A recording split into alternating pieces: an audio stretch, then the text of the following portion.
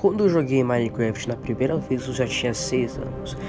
E também eu gostava de coisas, ouvir coisas históricas e ouvir coisas de guerra. E também eu gosto, e o jogo Minecraft era meu, tipo o meu preferido no jogo dos todos. Agora eu pensei, se misturar os dois, então isso vai ser o vídeo.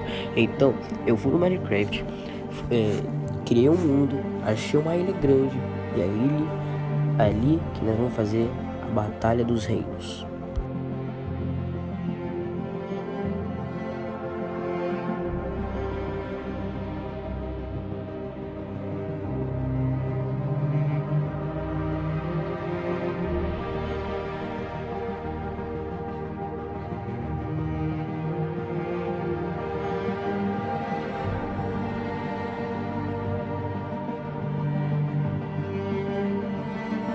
Então, essa é a ilha que eu escolhi.